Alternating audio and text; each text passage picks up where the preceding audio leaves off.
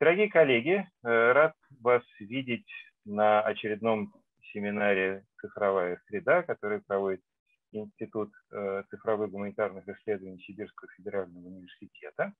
И э, сегодня у нас с докладом выступит Анастасия Владимировна Колмогорова, заведующая кафедрой романских языков и прикладной лингвистики Сибирского федерального университета. Большое спасибо, Анастасия Владимировна, за ваше согласие.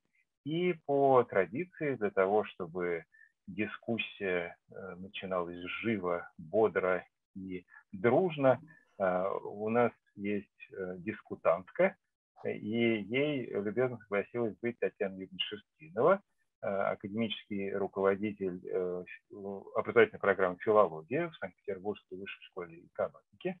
Спасибо большое, Татьяна Юрьевна, рада вас здесь видеть. И передаю слово Анастасии Владимировне. Пожалуйста. Спасибо большое, уважаемые коллеги, а, уважаемый Андрей Юрьевич, за приглашение. А, я сегодня расскажу о проекте, но частично вот э, наш дорогой дискуссант а, Татьяна Юрьевна знакома с этим проектом, он закончился, но получил продолжение. И вот я расскажу сегодня немножко про начало, так сказать, предыстории, и расскажу о продолжении того, что получилось. По сути дела, он а, на стыке находятся компьютерной лингвистики и э, психолингвистики. Ну, в общем, сейчас я расшарю презентацию. И в рамках проекта РФФИ, в, который выполнялся с 19 по 21 год, а, мы работали над созданием классификатора русскоязычных интернет-текстов по критерию их эмоциональной тональности, ну, вот на основе модели эмоций а, ну, немножко дальше расскажу, что, в общем, это одна из моделей, возможных для описания эмоций. Мы ее взяли в качестве вот такого концептуального базиса. А, ну и мы работали в течение трех лет. А, классификатор получился, все технические отчеты мы сдали. Ну вот руки в хорошем смысле чесали сделать что-то дальше. И поскольку в силу других каких-то проектов мы были включены в тематику билингвизма, то задались вопросом, а вот классификатор, который был разработан, ну, собственно говоря, на материале оценки данной монолингвами, информантами, которые выступали в роли аннотаторов, будет ли он ну, релевантен или также адекватен для билингвов. И мы взяли кейс с тувенско-русскими билингвами. Ну, вот расскажу немножко по порядку. Ну, вот команда проекта все та же, а, который работал над предыдущим, все те же замечательные лица. А, Александр Калинин возглавляет отдел машинного обучения в одной крупной IT-компании, Любовь и Маргарита – программисты, и вот мы с Алиной – лингвисты, составляем лингвистическую часть э, этой компании. А, тут немножко предыстория о том, как мы начали заниматься этим классификатором. То есть мы начали работать э, в рамках парадигмы сейчас достаточно известной аффективных вычислений и занялись эмоциональным анализом текстов. То есть вот наша задача, задача вообще исследования выполняемых в рамках эмоционального анализа текстов, это выявить э, не, не просто сентимент, там, отрицательное, негативное отношение к обсуждаемому предмету в тексте, но выявить конкретную эмоцию, которая актуализируется в тех или иных частях текста. Э, существует на сегодняшний момент э, в этом довольно молодом направлении два основных подхода. Это дискретный и многомерный. В рамках дискретного тексту просто приписывается, ну, скажем, класс, что вот бирочка такая, да, мы ее повесим, это радостный текст, это грустный текст, это еще какой-то текст. В рамках многомерного подхода, который по определению более сложен, текст помещается в такой эмоциональный континуум и может одновременно принадлежать по чуть-чуть разным классам. Ну вот здесь на картиночке я привожу примеры знаменитое колесо Плучика или шесть базовых эмоций Экмана. О. А, вот это примеры дискретной классификации. То есть здесь мы вот в один из классов, в одну из категорий помещаем э, какой-то текст, который мы рассматриваем и вот приписываем, атрибутируем его определенной эмоции. Мы выбрали путь э, недискретной многоклассовой такой разметки, многомерной точнее. В рамках а, многомерного анализа эмоций используются вот такие трехмерные модели. Ну, самая известная модель – это Wade-модель. То есть здесь три измерения куба, они соответствуют ну, dominance, да, стремление к социальному доминированию, valence, значит, это либо а, отрицательная, скажем, окрашенная эмоция, либо положительная, и arousal, возбуждение. И в рамках вот этих трех измерений помещаются, авторами модели помещаются базовые эмоции. Ну вот мы здесь видим joy, anger, disgust и так далее. А, мы взяли аналогичную модель, но, может быть, менее известную, поскольку она позже появилась. В 2012 году шведский нейрофизиолог Левхи предложил, такая у него яркая идея была, фундированная в экспериментах по физиологии, а, значит, что те эмоции, которые мы испытываем, они зависят от того, в каком сочетании, в каком соотношении находятся три нейротрансмиттера или три гормона. А, это норадреналин, а, допамин и серотонин. Как, в, каком, в какой пропорции они выбрасываются в амигдалу, формируются в амигдале головного мозга. От этого будет зависеть эмоция, которую мы испытываем. Ну, мы взяли эту модель э, исключительно как концептуальную основу, мы не измеряли ни гормонами, не работали ни с какими физиологическими, нейрофизиологическими инструментарием, но нас заинтересовала вот именно э, эта трехмерность и эта возможность моделирования эмоций вот в таком пространстве. В качестве, э, в качестве датасета мы взяли посты в трех пабликах ВКонтакте. А, это «Карамель», преимущественно женский паблик «Подслушано», который, я думаю, что знают практически все, такой очень, очень востребованный, очень популярный, очень многочисленный паблик. И палата номер шесть. А, значит, в этих пабликах что нас привлекло? С одной стороны, была техническая такая, технический задел, который импонировал э, тексты размером 80-100 слов для обработки машинной это очень такой удобный формат, вполне подъемный, так сказать, по объему текста. С другой стороны, это уникальный ресурс, где э, сложился ну, такой определенный жанр текстов, мы это назвали эмоциональное интернет-откровение, потому что в этих пабликах ну, вот как бы сама, сама цель коммуникации рассказать какую-то вот жуткую эмоциональную историю, причем э, даже, может быть, на взгляд внешнего, пришлого в этот паблик э, интернет-пользователя, где-то эмоции выражены гипертрофированно. Но, в общем-то, ну, нам, у нас создалось впечатление, что это то, что нам нужно, чтобы эмоции были разнообразные, они были яркие, в небольшом объеме, ну и представлены по разным тематикам. А, этот датасет первичный такая преселекция у нас была сделана по хэштегам. А, сначала мы хэштеги, ну, здесь вы видите несколько примеров.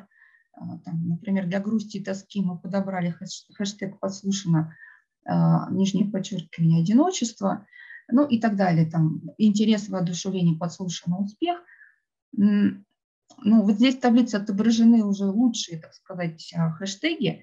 Первоначально их было много больше, мы их сначала сами отобрали – а потом проверили в психолингвистическом эксперименте, когда 30 э, было у нас информантов, наших студентов, мы им предложили э, соотнести текст с э, предложенными разнообразными хэштегами. Ну и смотрели процент попадания, собственно, в то, что, что мы видели в хэштегировании.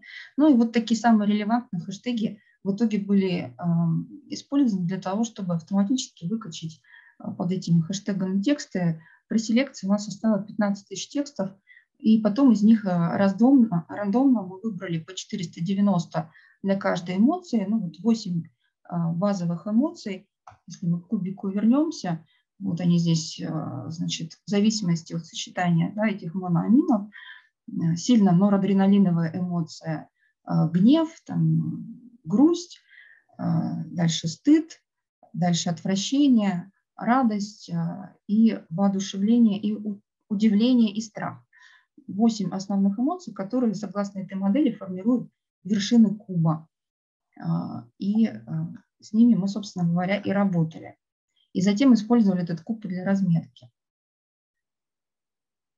Когда стал вопрос о том, как нам размечать нашу выборку, Ну, то есть у нас там получилось около 4000 текстов, которые мы думали, что мы предложим для разметки нашим информантам, ну, то есть мы их называли асессорами. Возник вопрос об интерфейсе. Если мы хотим получить не дискретную разметку, чтобы нам информанты где-то этот свой текст поместили внутри куба, значит, мы не можем им предложить э, какие-то выборы уже конечные. Мы должны какую-то предоставить шкалу и свободу для маневра. Это там слайдер, да, чтобы ползунок можно было передвигать. В итоге мы такой интерфейс разработали. Ну и самое главное была проблема, какие шкалы предложить. И вот наши магистранты, которые слушали у нас курс прикладной лингвистики, высказали такую идею, что вот давайте возьмем внутренние диагонали этого куба.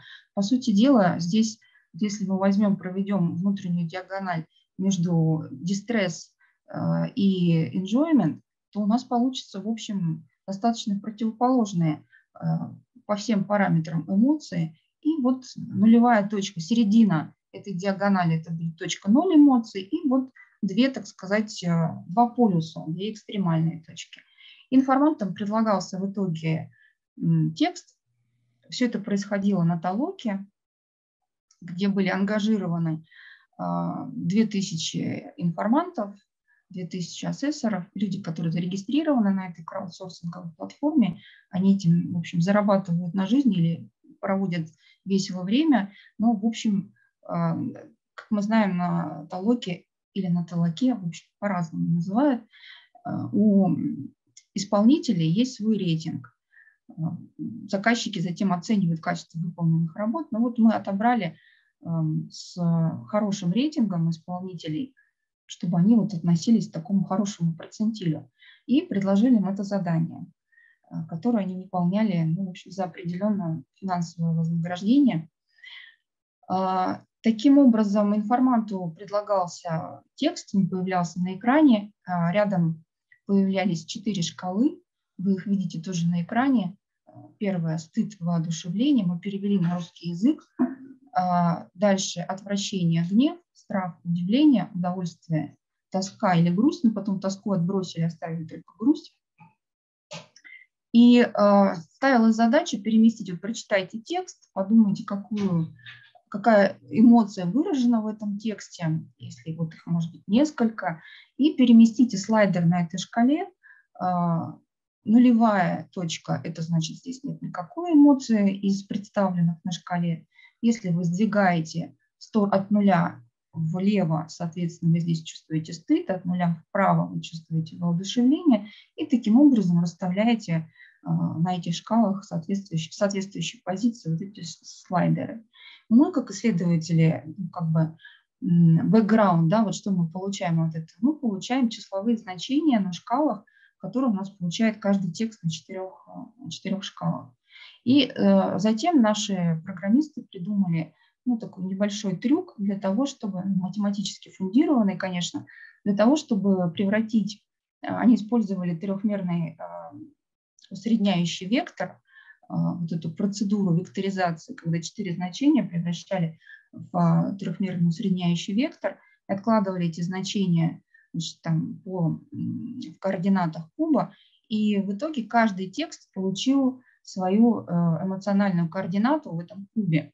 И вот облачко красное, которое видно на картинке справа, оно как раз э, является такой визуализацией очень грубом приближении а, того, что получилось в результате а, обработки и дальнейшего математического моделирования полученных результатов. В общем, каждый из этих а, почти 4000 текстов получил после оценки вот этой когорты информантов свои эмоциональные координаты внутри куба. Ну, это все предыстория. Не буду, наверное, здесь останавливаться, что мы отдельно разрабатывали еще классификатор для того, чтобы собрать нейтральный текст, потому что это оказалось, в общем, нелегко, очень даже нелегко найти ну, вот такой образец нейтральности в социальных сетях. Но эта проблема тоже была решена. А, был разработан двухклассовый классификатор, который был обучен на нейтральных текстах из Википедии, но затем запущен для классификации в тексты социальных сетей.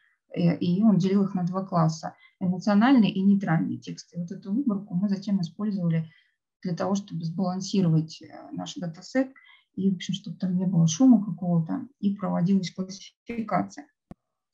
Но момент, который как бы стал таким, можно сказать, не знаю, звоночком следующего, продолжение этого проекта, э, стало то, что э, после оценки стало понятно, что какие-то тексты э, вот из этого облака красного, да, они видно, что некоторые вообще вылетают куда-то в космос. Все как-то держатся вместе, а вот есть такие аутлайнеры. От чего они появляются? Они создают, создавали при попытках машинного обучения, они создавали определенный шум.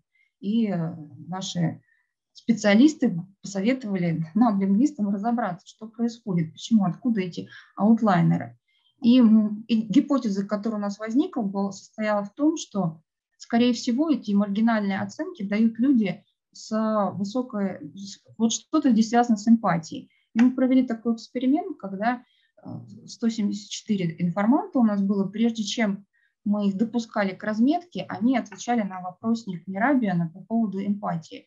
Ну вот насколько оценивался индивидуальный а, уровень эмпатичности, там, по-моему, 33 вопроса в этом опроснике, ну, соответственно, инструкция для подсчета баллов. И потом, когда мы сопоставили с результатами оценки, которые давали информанты, получилось, что ну, вот фактор гендера вообще никакой роли не играл, фактор возраста, возможно, и играл, но вот эти значения были смазаны. А вот на картинке Б, например, видно, что а, по вертикали здесь отложено значение а, вот этого эмоционального размаха оценки, то есть насколько мы назвали это радикальность оценки. То есть если там человек задействует вообще всю шкалу, да, дают радикальные оценки, а кто-то крутится вокруг нуля, какой бы текст ни был. И э, вот статистика нам показала, что люди с высокой эмпатией, их доля значительно статистически значимо больше э, среди тех, кто давал радикальные оценки эмоциональности в тексте, чем вот со средней, вот здесь на, на картинке Б, да, вот high – это люди с высокой эмпатией, и вот э, этот размах оценки у них выше, радикальность оценки, чем у людей со средней эмпатией, с низкой эмпатией и с очень низкой эмпатией. И вот здесь уже как бы такой у нас первый звоночек прозвучал а, о том, что, конечно, наши технологии прекрасные, машинное обучение прекрасно, но человеческий фактор а, никуда не денешь. И очень многое зависит от психологических особенностей разметчика, аннотатора. А от этого зависит, какую аннотацию он даст, какое измерение он припишет тексту. А дальше от этого зависят результаты обучения алгоритма. Какой бы мы ни взяли, он все равно будет прежде всего э, основываться вот на этих, собственно говоря, человеческих данных. Потом из этого выросла и тематика билингвального сознания и билингвального восприятия э, эмоциональности в тексте. Ну вот также, возвращаясь к человеческому фактору, мы смотрели, что у нас и, в общем-то, разные стратегии используют информанты. По сути дела, этих разметчиков можно разбить на группы и тех, кто предпочитает, ну, например, на двух шкалах ставить радикальные какие-то оценки, а, ну, то есть для, выделять, да, а на следующих двух шкалах поставить значением ближе к нулю. А кто-то любит на одной шкале максимум поставить, а на вторых поставить ближе к нулю. И причем эта тенденция, она как бы прослеживается на протяжении всего процесса оценки. То есть вот опять же этот человеческий фактор, который, а, который предопределяет в какой-то степени результаты дальнейшей работы всех этих замечательных искусственных интеллектов. А, дальше у нас была попытка, а, значит, мы решили попробовать оба пути, сделать классификатор, то есть классификатор у нас а, берет текст, да, на вход мы подаем текст, на выходе он говорит, вот этот текст принадлежит такому-то классу. Но поскольку изначально разметка была ну, такая многомерная, дискретная, то у нас, конечно, было сомнение по поводу применимости этого метода, ну, поскольку, скорее всего, это было бы не, не экологично, неправильно по отношению к нашим данным. Но мы все равно попробовали, использовали здесь разные сочетания э, векторных представлений слов, и нейронные сети, глубокое обучение, и классические методы машинного обучения, и наши вот здесь программисты вдоволь поиграли э, с этими данными. Но в итоге получилось, что как бы самый лучший результат у нас давала модель логистической регрессии в сочетании с векторизацией ЛМО. И вот значение F1, то есть точности и полноты классификации, здесь было самое лучшее, то есть 61% текстов из этих 9 классов, 8 эмоциональных и 9 нейтральный, классифицировались правильно. Ну, в общем, это не сказать, что это очень плохой результат, учитывая, что классов было 9. А, ясно, что когда, например, проводится сентимент-анализ, там у нас два класса или три, негативные, позитивные, нейтральные, то там можно достигать 93-97% точности. Когда 9 классов, это сложнее, ну и плюс это вот такие сложные признаки там. А, ну, в общем, с другой стороны, нельзя, конечно, сказать, что это супер замечательный результат, но симптоматично то, что лучше всего себя показала модель логистической регрессии. И а, следующий тогда вот мысль у нас была создать регрессор, то есть он не помещает текст какой-то класс, а он нам возвращает ну, определенное предсказание, вот где может находиться вот в этом многомерном пространстве текст, который вы мне подаете на вход. Какие там могут быть сочетания эмоций. То есть э, вот эта многомерность, недискретность здесь э, э, сохраняется. Ну вот опять же, программисты поколдовали во главе с нашим руководителем машинного обучения Александром, поколдовали с разными моделями и вот использовали, конечно, ныне очень популярный BERT, Frozen BERT и э, Fine-Tuned BERT. И, в общем, значение э, ошибки, да, ну, в общем-то, терпимые, такие неплохие. И средняя абсолютная ошибка, значение, средняя квадратичная ошибка, э, в общем, получились неплохие значения. И был создан, собственно, интерфейс, он доступен онлайн, и работал, в общем, он у нас был доступен свободно. Сейчас он доступен по запросу, ну, поскольку ведутся определенного рода коммерческие переговоры. Но, в общем, структура его была проста, есть, а, а, так сказать, клиент, да, клиентская структура и есть серверная структура, где хранится код. Клиентская структура выглядела так, ну, и выглядит до сих пор. Значит, мы помещаем в окошко текст, Естественно, он должен быть на русском языке, и желательно, чтобы это все-таки был интернет-текст. И нажимаем кнопку Analyze и получаем, то есть выдача предсказания, которое нам дает регрессор, оно э, выглядит визуально точно так же, как интерфейс, с которым работали наши ассессоры, наши информанты. То есть вот по этому тексту, например, мы получаем э, вот такую выдачу, что на шкале стыд, воодушевление, мы видим, что слайдер сдвинут слегка в сторону воодушевления. На шкале э, гнев, отвращение слайдер ну, чуть-чуть совсем там, э, сдвинут в сторону гнева. На шкале грусть, радость слайдер сдвинут в сторону радости. То есть есть элемент радости да, в этом тексте и значительно больше, чем воодушевление. И на шкале страх-удивления э, слайдер сдвигается в сторону удивления, ну, вот примерно в таких же пропорциях, как э, в сторону радости. Ну и вот таким образом мы можем представить себе э, общую картину, составить, какую, какие эмоции смешанные вот в этом тексте. Конечно, здесь, когда мы представляли вот этот результат наш технологический проект разным коммерческим партнерам. А, ну, вот были какие-то да, тоже опасения, что ну, у каждого, в общем, свое восприятие, кто-то не согласен с этим. И с этим стоит и следует согласиться, это действительно так. Здесь очень а, большая вариативность. Но, тем не менее, какой-то вот бейслайн да, мы здесь получаем. И вот, собственно, да, история вторая, которая основная, над которой мы сейчас работаем. Это история билингвальная. Э, мы получили следующий грант э, нашего регионального научного фонда, который называется «Компьютерное моделирование эмоционального восприятия интернет-текста на русском языке тувинско-русскими билингвами». А, ну, вот Республика Тыва здесь нами была выбрана не случайно, поскольку это геополитически, так сказать, это непосредственный сосед Красноярского края. Наша территория граничит с Республикой Тыва. И а, очень хорошо, мне кажется, инкорпорированы вот с традициями тувинцев. У нас учатся и тувинские студенты, и мы активно сотрудничаем с самим университетом, Тувинский государственный университет в городе Кызыл.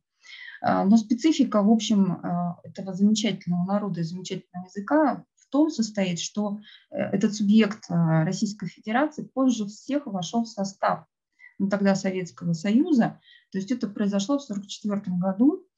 И позиции тувинского языка, они и традиции, они чрезвычайно сильны в этом регионе. Ну, вот здесь данные, которые обрываются на 2010 году, но тем не менее они показывают общую тенденцию, что а, после 2000-х, ну, после 90-х, так скажем, годов произошло вымывание русского населения из Тывы, такая миграция обратная, а, и тувинское население доминирует сегодня а, по отношению к русскому. Вот в 2010 году это был 81%, сейчас вот по сегодняшним данным, которые я, к сожалению, не успела здесь поместить, этот процент, в общем, приближается к 90 и а, русский, русского населения становится меньше. Тем не менее, а, вот здесь очень интересное отношение русского и тувинского языков. Мы видим по этим данным, что в том же 2010 году, это был а, год проведения переписи, по-моему, поэтому данные всегда по 2010 году хорошо представлены. Если мы сравним, например, с алтайцами и хакасами, то у тувинцев а, процент людей, не владеющих родным языком, поразительно низок. То есть у других народов, автохтонных народов Южной Сибири, а, уровень владения родным языком значительно-значительно ниже. У тувинцев он выше всего. И а, вот мы видим в следующей таблице, что тувинцы там, вот в 89-2002 году практически 90, практически 100% говорили на а, родном языке. Ну, там 2010 96%. Но, в общем, по субъективным ощущениям э, случилось так, что я в течение последних четырех лет а, работаю, сотрудничаю с коллегами из этого университета и работаю в этом университете, работаю со студентами непосредственно, с преподавателями. И вот по ощущениям действительно владение тувенским языком практически стопроцентное. И при этом владение русским языком, э, ну, то есть там третий, четвертый курс, с которым я работаю, ну, это абсолютный, абсолютный билингвизм, трудностей там никаких нет. Но с другой стороны, мы фиксируем, э, мы проводили самостоятельно опрос, у нас было 120 студентов, мы проводили э, опрос о том, какой язык, на каком языке вы говорите, например, дома, и э, по результатам опроса 79% опрошенных говорят, что вот э, дома говорим на тувинском, на двух языках 12% и на русском языке только 9%.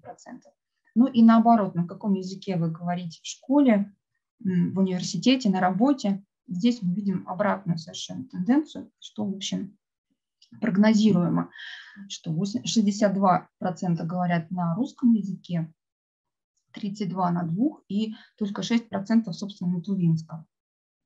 То есть мы здесь видим функциональное распределение языков э, совершенно четкое. Тувинский как э, язык домашнего общения и русский как институционального общения. Ну вот несколько примеров еще субъективного отношения к языкам. А, вообще тувинцы трепетно относятся к языкам. К русскому, к тувинскому, к монгольскому, к корейскому. И поскольку вот они такие билингвы, естественные билингвы, априорные какие-то, я так сказал, то и владение другими языками является ценностью. И многие студенты там корейские, японские, английские, французские учат просто для себя. Поэтому здесь вот ну, на слайдах вы видите такие отзывы о языках, вот кто-то считает, что мой родной язык тувинский, а кто-то говорит, что вот и тувинский, и русский языки, вот я их люблю, и тот, и другой. И, в общем, отношение к языкам очень трепетное.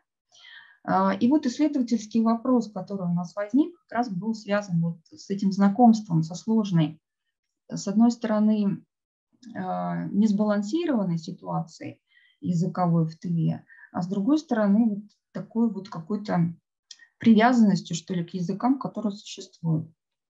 Будет ли отличаться эмоциональная рецепция текста на русском языке у монолингвов и у билингвов? А, и дальше мы этот основной вопрос разделили еще на подвопросы. Будет ли это зависеть от типа билингвизма, а, там, от доминирующего языка скорее, да, какой у билингва доминирующий язык, русский, а, тувинский, или они находятся в равновесных отношениях. Будут ли объективные факторы билингвизма, такие как возраст приобретения, контекст формирования билингвизма, коммуникативная активность на этих языках, и субъективные факторы, например, компетенция языковая или характер субъективного отношения к языкам по-разному влияет на эмоциональную рецепцию текстов на русском языке. А, этапы работы, которые, которые мы прошли, информанты сначала отвечали на вопросник, на опросник Bilingual а, Language Profile. Опросник позволяет высчитывать, получать количественные данные, баллы для каждого информанта и определять по этим баллам тип доминирующего языка, поэтому это было удобно. Дальше они приступают к разметке. Для разметки было предложено пока только 48 текстов, по 6 текстов на каждую из 8 базовых эмоций. Интерфейс был все тот же, платформа немножко другая, мы больше не использовали толоку, но э, использовали другие платформы. Но интерфейс выглядел точно так же. Ну и затем обработка и сравнение результатов которые еще находятся в процессе, какие-то вещи еще не визуализированы, еще не до конца доиграли со статистикой, но уже о чем-то можно говорить. Э, что касается вот самого расклада информантов, здесь видно, что у нас доминировала группа 18-25 лет. Это были э, студенты, аспиранты, магистранты, э, хотя, в общем, опрос был выложен в социальных сетях, он не был привязан к университетской какой-то среде. Дальше а, женщины, ну как это обычно бывает, такого рода опросов доминировали. Э, доминировала группа с неоконченным высшим образованием, ну, потому что это были студенты, но в то же время были вот где-то по 15-12% люди со средним образованием, с уже законченным высшим образованием, дипломом специалиста и так далее. Опросник, который заполнялся, он состоял из нескольких модулей. Первый модуль Э, по-разному, ну, в общем, он был предназначен для искусственного билингвизма, поскольку у нас естественный, мы его убрали, мы его не использовали. Но вы видите, какие типы вопросов в первом модуле, который касается объективного фактора до возраста, овладения языком, в каком возрасте вы начали учиться, участвовать в общении и так далее. Следующий модуль направлен на определение использования языка, и он тоже как бы объективный, потому что вот предлагает оценить процент времени в неделю, э, вот вы говорите на таком языке, на другом языке и так далее. И дальше следующие два модуля, они э, соотносятся с субъективными параметрами, субъективным фактором билингвизма. Это субъективная оценка языковой компетентности, как хорошо вы говорите, пишете, понимаете, читаете на таком-то языке. И последний тоже субъективный фактор – это отношение к языкам. Ну, вот предлагалось э, билингвам оценить по шкале от 0 до 6 суждений. Я чувствую себя собой, когда говорю на языке там таком-то, там русский, тувинский предлагался, чувствую себя частью культуры, тувинскоязычной, русскоязычной. Ну, вот такого рода вопросы задавались. В результате, ну вот у нас первая гипотеза была, что эмоциональная оценка текстов, возможно, будет испытывать влияние, ну, отличаться как-то в зависимости от возраста усвоения, Э, второго языка или от субъективного отношения к языку. А, когда мы подсчитали баллы опросника, у нас выделились четко три группы. Значит, участников у нас было 65 человек, на самом деле больше, около 80, но по разным причинам, о которых, может быть, я потом где-то еще скажу, что часть отсеялась а, информантов, и, в общем, 65 у нас таких канонических было информантов. Первая группа мы обозначили буквы Т, это группа с доминирующим тувинским языком по результатам опросника. Группа А, а, значит, она с доминирующим русским языком по опроснику. И третья группа Б со сбалансированным билингвизмом, то есть равновесные оба языка. И вот мы сравнили эмоциональные оценки, которые были даны этим 48 текстам по вот этим группам. Ну и потом сравнили, используя статистику, те критерии студента, будут ли статистически значимые различия. Ну, первая гипотеза была, что будут какие-то отличия между вот объективными и субъективными факторами, никаких отличий не было. То есть гипотезу отбрасываем, ни возраст усвоения не влияет, а по всему опроснику, то есть вот, собственно, тип доминирующего языка влияет. И здесь было выделено при значении там, π типичным 5 сотых, да, то, что меньше 5 сотых, то статистически значимо, то в группе соотношений, когда мы сравнивали группу с сбалансированным билингвизмом и группу с доминирующим русским, вот здесь были статистически значимые отличия в оценках. То есть вот мы дальше будем прорабатывать еще вот эту группу. То есть тип доминирующего языка, да, влияет на оценку эмоций в тексте. То же самое продублировали у критерия Мана Уитни, и тоже мы получили значение в этой же самой, в двух этих сравниваемых группах, сбалансированный билингвизм и доминирующий русский язык. А, значит, поле значимости было меньше 127, все, что меньше 127, все статистически значимо. Здесь у нас появилось, ну, значение было 113, что значит уже входит в поле значимости. А, такие качественные наблюдения. Ну вот, например, такой текст. Нахожусь в поиске работы, меня просто поражает и убивает упертость, либо непонимание вопроса многих работодателей, когда спрашиваешь их про непосредственно оклад будто они такого слова не знают, начинают вновь по кругу втирать про общую зарплату, бонус, премии и так далее. Да знаю я, из чего состоит зарплата. Тем более, что только что мне рассказали. Только эти премии еще не факт, что получишь, мне нужно знать основу, которую я точно получу. А некоторые вообще умудряются спрашивать, а зачем вам знать оклад? Да, блин, действительно. Ну, э, он был оценен в выборке у монолингов как гневный, э, и, в общем-то, здесь в оценке билингвами тоже это подтвердилось, но вторичные эмоции, которые заняли второе, третье и дальше места, отличались. Ну, например, у сбалансированных билингвов первая по значимости эмоция была гнев, затем текст помещали в категорию грусть и потом в категорию воодушевления. А у билингвов с доминирующим русским языком последовательность была следующая. Гнев на первом месте, потом удивление, потом отвращение, потом страх. То есть при, несмотря на то, что доминирует да, одна и та же эмоция, но палитра вторичных эмоций э, разная по объему и разная по качеству. И затем мы сравнили, собственно говоря, монолингвов и билингвов. По монолингвам у нас уже были данные, и вот то, что мы получили по билингвам. Мы сравнили э, вот значения, которые были получены при оценке вот на этих шкалах. Вот внизу под шкалой Э, видна табличка, где тоже мы считали те критерии студента. Э, вот, например, сравнивали значения, которые были получены монолингов по шкале стыд и воодушевления и у билингва. И статистически значимыми оказались отличия при той же p-value 5 сотых. Здесь мы видим, что у нас 4000 значения, то есть ну, вот статистически это значимо оказалось очень. Дальше шкала отвращения гнев, когда сравнение данных монолингов и билингвов. Ну, здесь на границе значимости ну, 0,52 тысячных при границе в 0,5. А, страх удивления никакой значимости не показал. Э, то есть, видимо, здесь значения оценок статистически никак не отличаются значимо. А вот э, радость и грусть, такая основная ось оценки эмоций, э, эмоциональности текста, она тоже дает очень хорошее значение статистической значимости отличий. Мы видим, что здесь вот 0,0008 и даже 0,9, можно так сказать.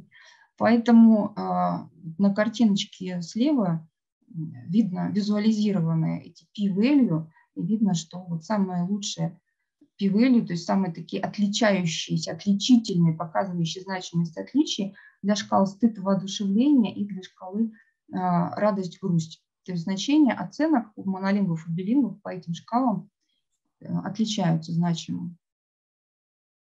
Ну и дальше диаграммы размаха.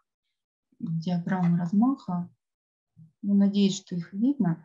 Значит, э, верхняя диаграмма – это у монолингвов. Ну, то есть в таких пределах да, они размахиваются эмоциональной кистью, чтобы отметить эти тексты. И размаха, диаграмма размаха у билингвов. В целом видно, что размах вот этих самых оценок у билингвов более выражен. Даже если мы возьмем первую шкалу, это черный квадратик, ящик с усами, это шкала стыд воодушевления, мы видим, что у монолингвов большинство значений скапливается в зоне от нуля до единицы. Ну, то есть это чуть-чуть в сторону воодушевления. А у билингвов а, значение между минус 1 и 2. То есть они захватывают самая востребованная часть шкалы, это чуть-чуть стыда и вот а, побольше удивления. Но при этом мы еще видим, что у билингвов от этого ящика с усами идут такие усы сплошной, очерчены сплошной линией, но это значит, вот такие радикальные оценки, как, а, например, 5 и минус 5, встречались тоже довольно часто, а в то время как у монолингвов отмечены точечками, что означает, что это, в общем, довольно спорадически происходило, не так регулярно. Ну и дальше, и в общем-то это нам и статистика показала, что эта шкала у нас самая такая. По отвращению гневу тут особо отличий в размахе нет. А, по страху удивления ну, небольшие отличия.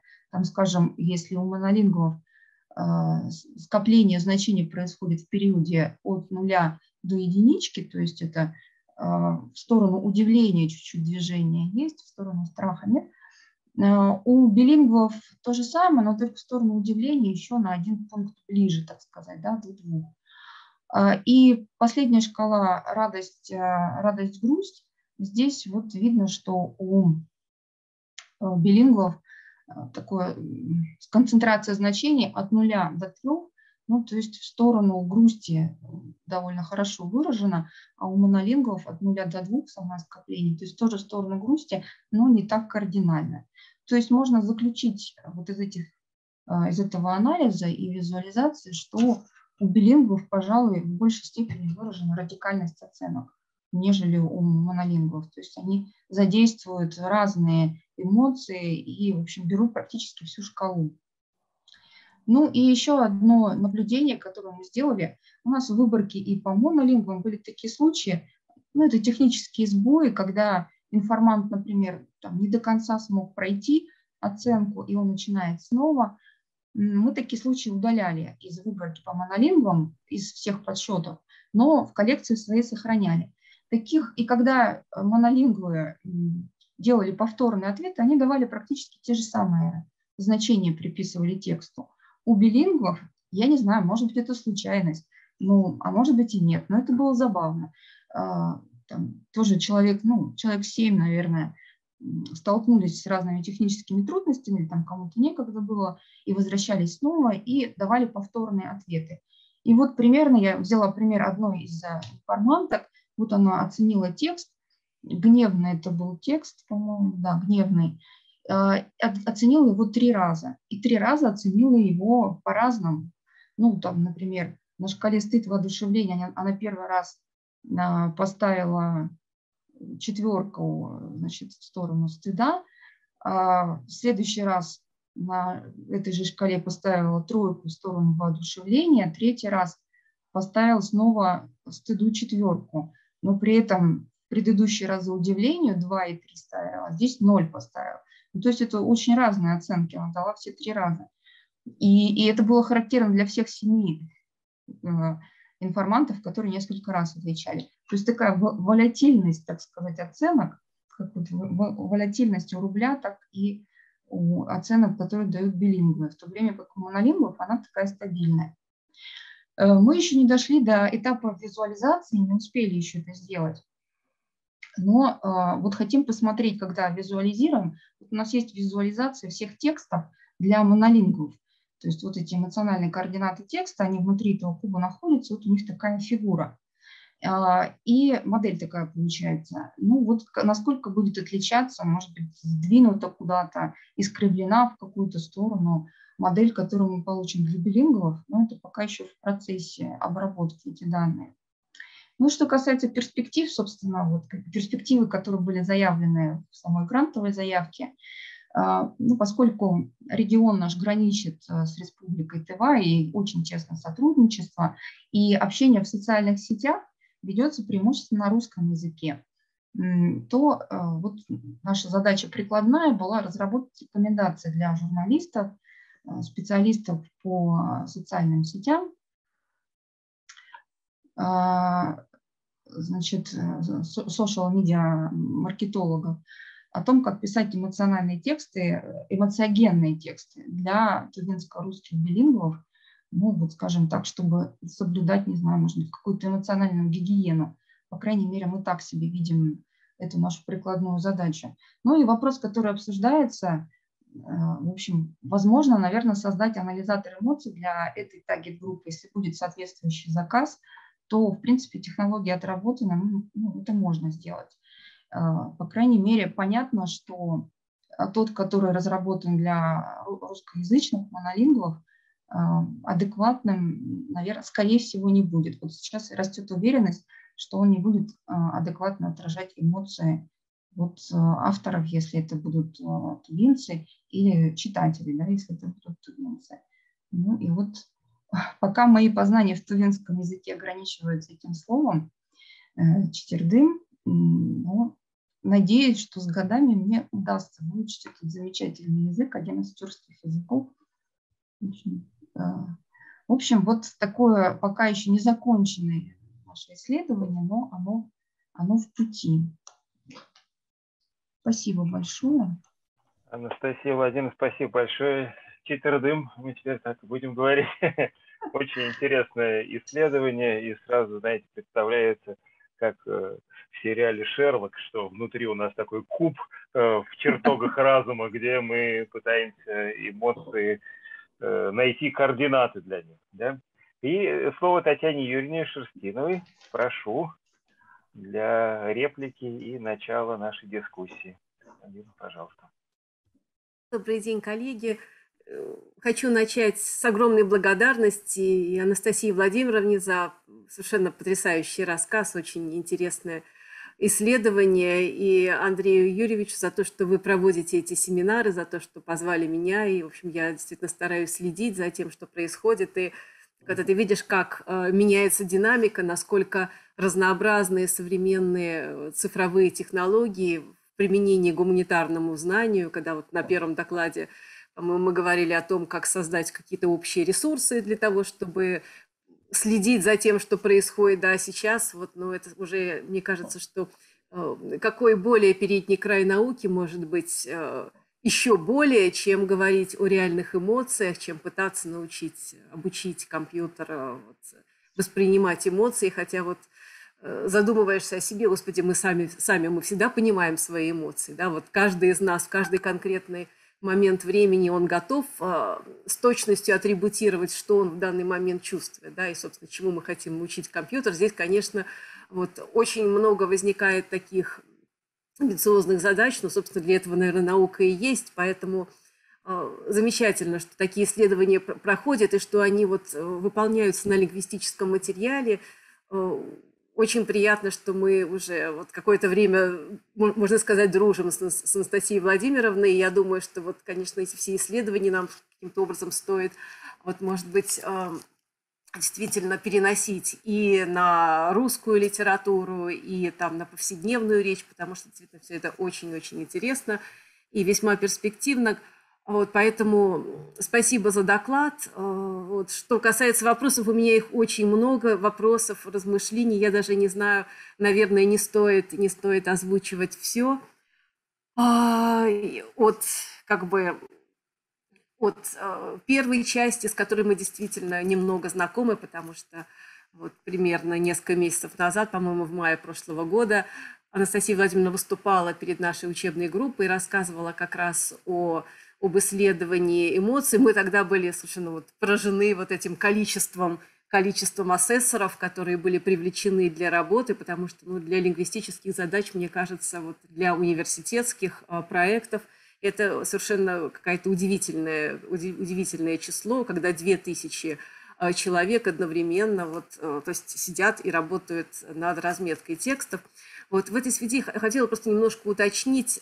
Подскажите, пожалуйста, вот, а, когда производилась эта разметка текстов, а, каждый текст сколькими э, оценщиками, да, uh-huh. измерялся. То есть uh-huh. было ли параллельное сравнение, или, или все-таки, поскольку, как это обычно бывает э, в лингвистических исследованиях, ну вот э, минимум, минимум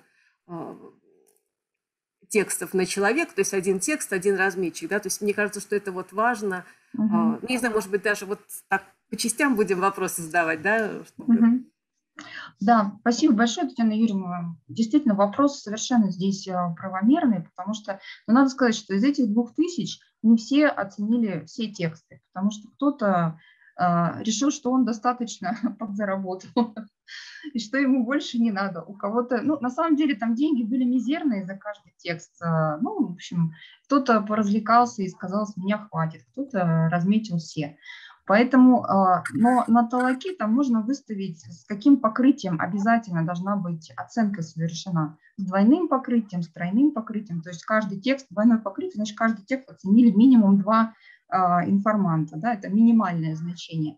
Ну вот мы поставили, что каждый текст с тройным покрытием, опять же, от этого зависит денежный вопрос, да, сколько за сервисные услуги значит, толоки заплатишь. Мы поставили с тройным покрытием минимально но на самом деле у нас получилось э, большее значение покрытия. То есть я не могу сказать, что все 2000 оценили, но, э, скажем, многие тексты были оценены э, больше, чем 50% информантов.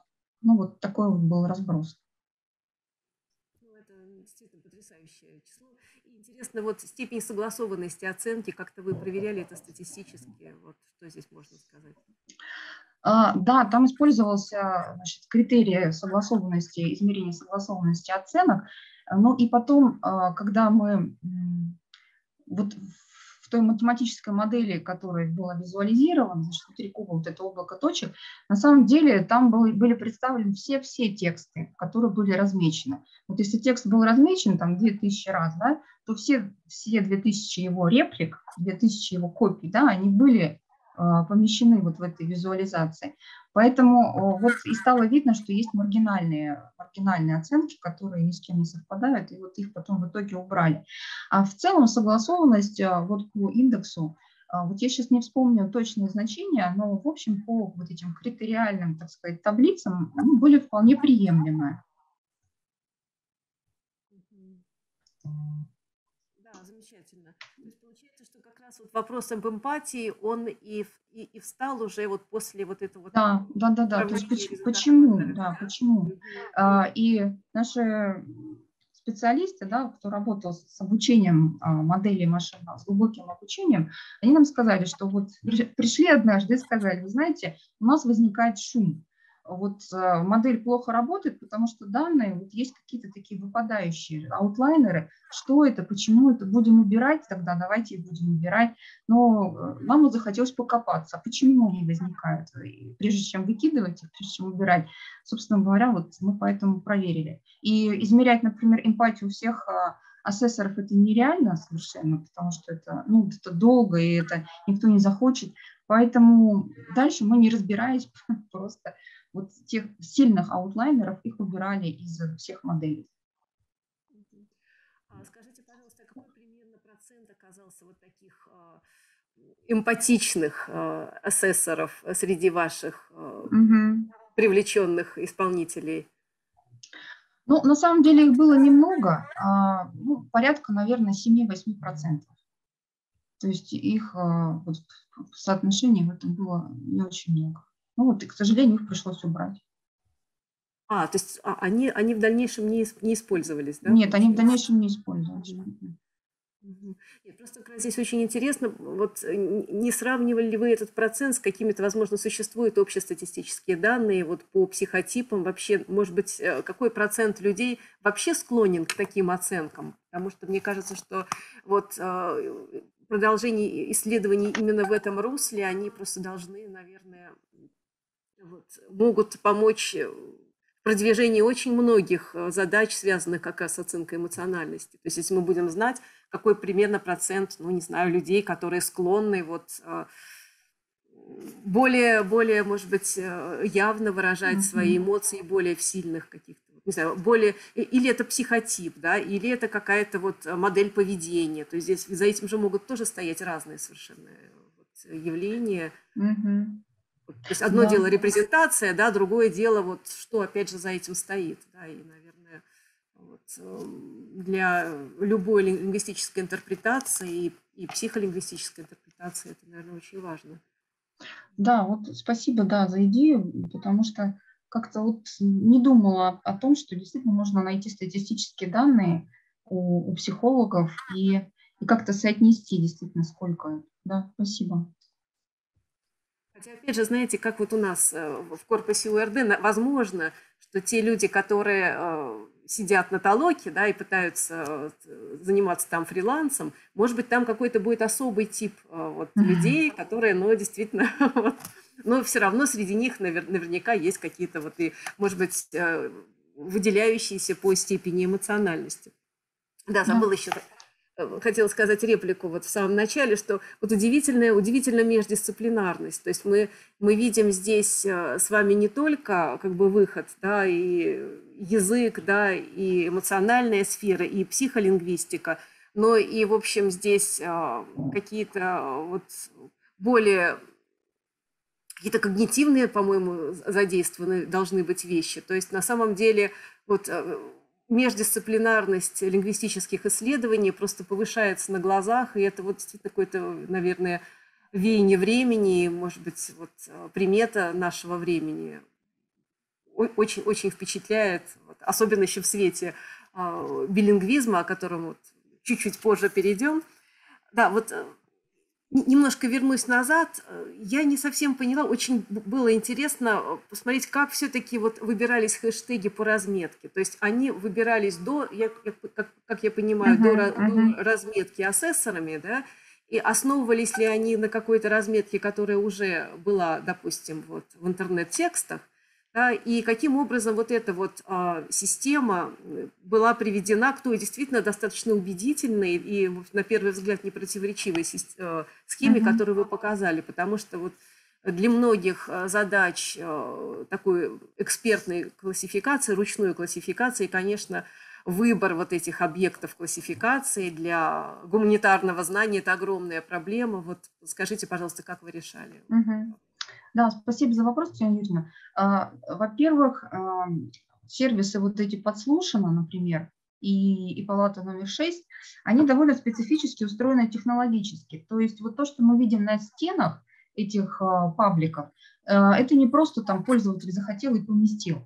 Есть система редакторов. То есть для того, чтобы, если я хочу опубликовать свой текст подслушано, я должна установить приложение на телефон, через это приложение отправить свой текст команда редакторов его просматривает, во-первых, они верифицируют, ну, насколько он, как это сказать-то, экспертно, насколько он вообще, его можно опубликовать, да, то есть не касается ли он табуированных тем, насколько он там... Цензура. Да, цензура определенная. Во-вторых, а, составляется определенное мнение, ну, насколько вообще реалистичная история, которая рассказана. То есть, может быть, ну, чтобы полного бреда не было на стенах этого паблика. И что самое привлекательное для нас было, что хэштег выставляет не пользователи, а команда редактора. То есть, по сути дела, они являются первыми асессорами этого текста. Они его прочитали, и они установили, про что здесь идет речь, да, про какую вообще тему, про какую эмоцию. Они выставляют хэштег. Эм, мы использовали этот а, хэштег, то есть мы выбрали сначала ну, просто ручным экспертным образом пропахали э, подслушано, посмотрели, какие бы могли быть соотнесены с нашими эмоциями примерно хэштеги, э, собрали их вот в такой вот список определенный, а потом провели психолингвистический эксперимент со студентами магистрантами. Вот мы их там 30 человек посадили, э, даем им текст, значит, с одной стороны просим соотнести с эмоцией, а с другой стороны просим выбрать хэштег из списка, который, который предлагаем. Вот под каким бы хэштегом ты бы поместил этот текст. И одновременно просим его указать, соотнести эмоцию, с которой бы он из этих восьми соотнес. Ну и вот таким образом мы выбрали список, ну, скажем, если в первоначальном списке было по порядка 50 хэштегов, то в итоговом осталось ну, порядка 15 хэштегов, которые соотносились а, с вот этими эмоциями. И потом через а, API выкачали из а, ВКонтакте. Ну, ВКонтакте его еще одно преимущество, что это можно очень легко сделать через API, и выкачали по хэштегам ну, вот эти 15 тысяч текстов, которые были при селекции. Понятно. Потом в результате шло сопоставление уже результатов с этими полученными хэштегами. Да, таким образом? А, а, нет, ну то есть мы уже априори помещали, например, вот мы выкачали, поняли, что вот у нас эти, например, 5 хэштегов, они соотносятся с эмоцией грусти. И, соответственно, выкачанные по этим хэштегам материалы мы помещали в группу грустных текстов. Только для того, чтобы потом из них выбрать когда мы делали да, вот, э, коллекцию для ассессмента, мы же не могли все 15 штук э, выбрать перед информантом. Нам нужно было ну, какое-то ограниченное число отобрать. И чтобы была сбалансированная выборка, мы вот из этих категорий, там вот грустные тексты, которые мы выключили, брали 394, э, например, текста. И 394 из другой категории. То есть это были условные категории, которые мы отобрали по хэштегам, просто для того, чтобы нам ну, вот сбалансированно сделать выборку. Не факт, что информанты оценили точно так же, но потом мы уже опирались только на оценку информанта. Да, Не знаю, понятно. насколько я была точна в своих. Да, мне кажется, у вас получается как бы эксперимент в эксперименте, ну исследование ну, да, в исследовании. Да. Просто вот действительно, куда, куда ни копнешь, оказывается, что прямо вот очень много лайфхаков о том, как нам дальше стоит продолжать э, исследование как раз эмоциональной сферы. А, замечательно, да, вы знаете, вот сейчас, мне кажется, настал такой момент, когда мы немножко разговорились, вот, и тоже хочется, может быть, в качестве предыстории, не знаю, поделиться с вами э, тем исследованием, которое вот мы в свое время проводили с профессором Арто Мустайоки э, на материале нашего корпуса «Один речевой день», повседневные спонтанные разговорные речи – и тогда действительно у нас тоже в какой-то момент встал вопрос об атрибуции эмоций, то есть нам вообще хотелось понять, что и как, что, что и как реально происходит э, в реальной жизни. И вопрос ставился таким образом, что ведь очень часто почти все лингвистические эксперименты, они э, работают по одной и той же схеме. То есть у нас есть некоторый текст, э, будь это, не знаю, текст художественной литературы, какой-то текст социальной сети – или вот, не знаю, как в нашем случае, там, звукозаписи э, спонтанных частных разговоров.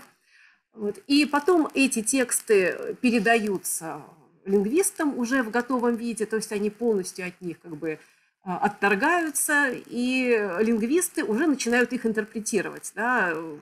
При этом могут при, привлекать там энное количество оценщиков для этого, и ну, ну, при этом мы совершенно как бы не видим, мы не можем оценить, а, что происходило на самом деле вот у автора и какую, какую собственно, эмоцию да, он закладывал в этот текст. Вот. Э, и, ну, в нашем случае это исследование было мотивировано а, попыткой каким-то образом разобрать, прийти к решению вопрос, вопросов коммуникативных неудач, то есть в каком моменте, где происходит сбой. То есть человек, например, мыслит одно, да, или вкладывает свой, э, в свое высказывание, в свою реплику один смысл, да, то есть, ну, это может быть эмоция, да, это может быть, э, это может быть какая-то содержательная информация – вот. И при этом его реципиент, который участвует в разговоре, он понимает это как-то иначе. Да? То есть э, понятно, что когда, когда речь идет об обмене эмоций, наверное, еще более усиливается. И часто мы, в общем, э, даже, я думаю, что у каждого из, из нас с вами был, есть такие эм, был такой опыт, когда вроде как мы с кем-то общаемся, да, человек вдруг обиделся, да, или наоборот, как-то вот он э, воспринял, воспринял твою речь совсем не так, как ты в нее, в нее вкладываешь, да, и вот вот эти вот как раз а, элементы, такие ситуации мы пытались а, каким-то образом прояснить на материале нашего корпуса. И мы поняли, что если мы берем тексты, которые уже вот а, автор, автор их написал, да, и про это уже забыл или не забыл, но, по крайней мере, уже, уже находится не в том состоянии, то, наверное, мы не можем судить об как раз вот этой оценке смысла, эмоциональности и чего-то еще, вот, э, порожденного текста.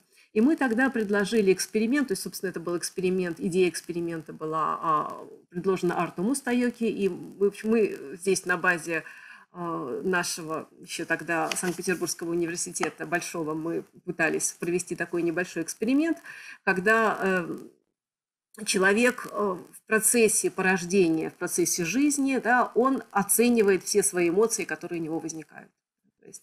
Например, у нас девушка сутки жила с диктофоном, как, ну, как все остальные э, волонтеры корпуса «Один речевой день», но при этом ей было дано задание отмечать все эмоциональные составляющие, все элементы коммуникативных неудач, вообще все, что происходило вот в этот момент э, в ее голове, и то, что не могло, могло не отразиться на коммуникации.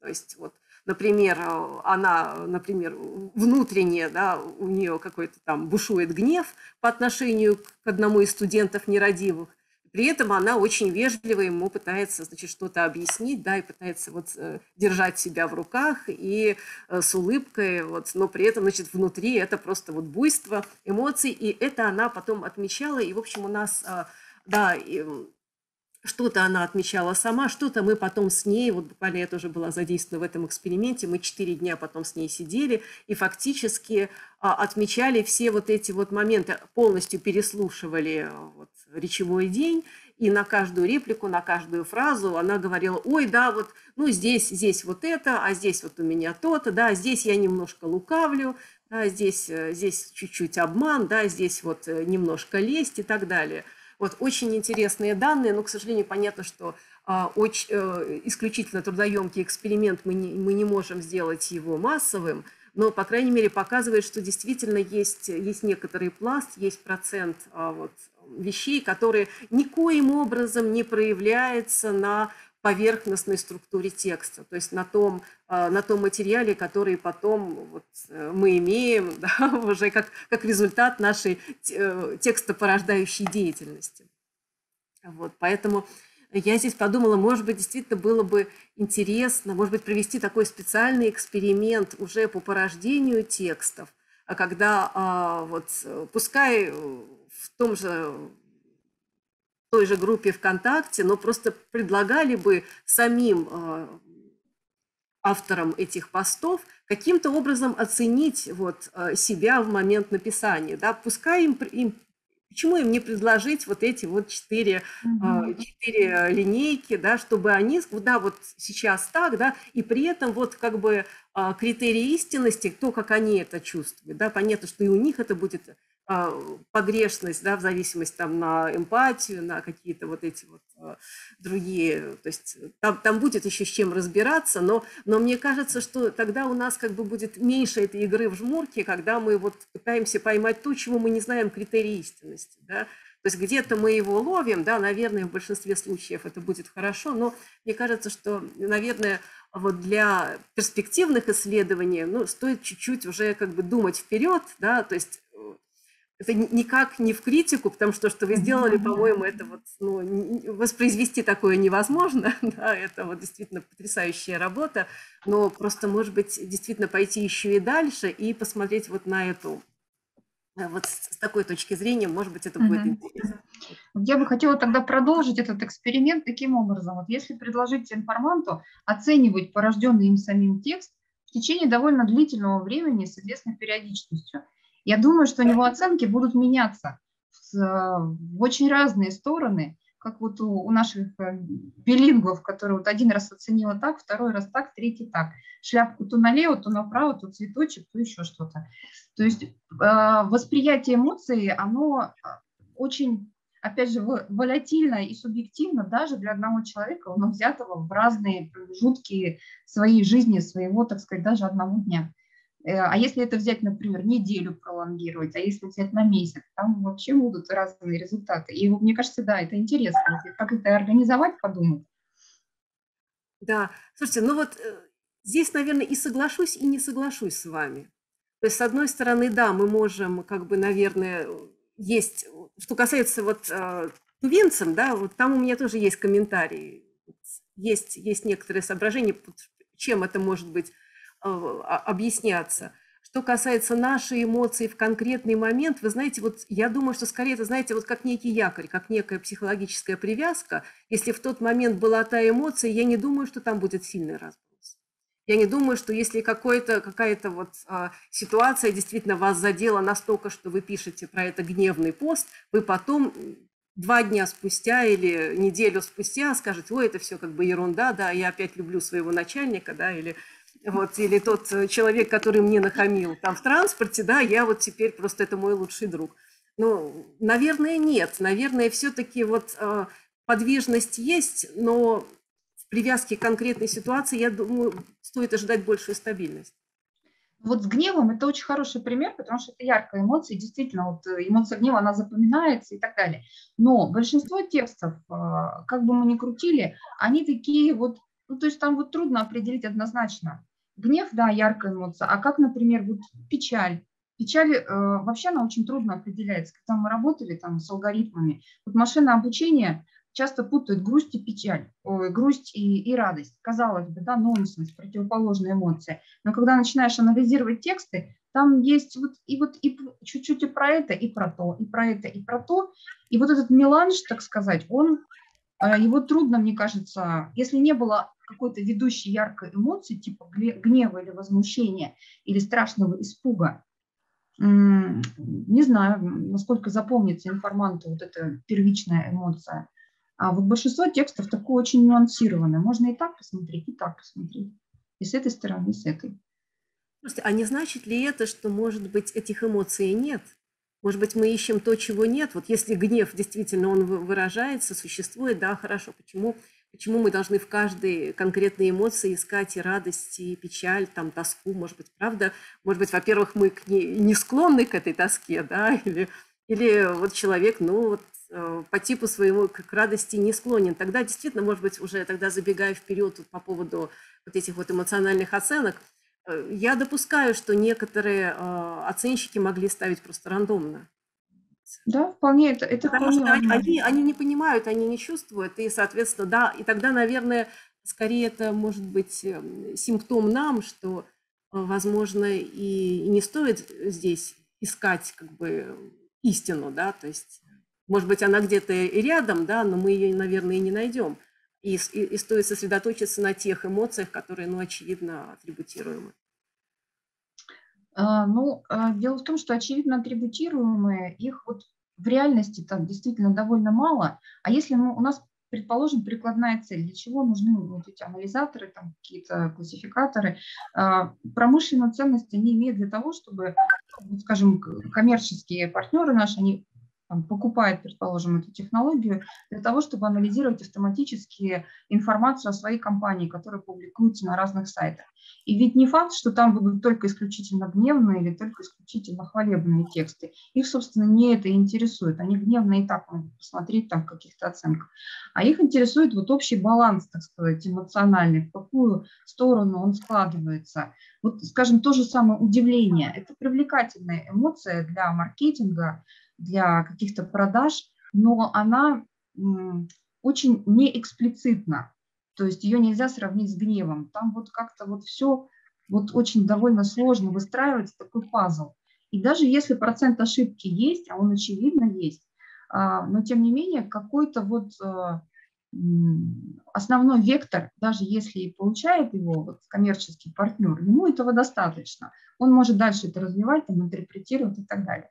Ну, вот, может быть, я сейчас смотрю с такой внешней а, коммерциализированной точки зрения, но вот хочется все-таки, чтобы наши лингвистические проекты имели, были открыты, так сказать, рыночному миру.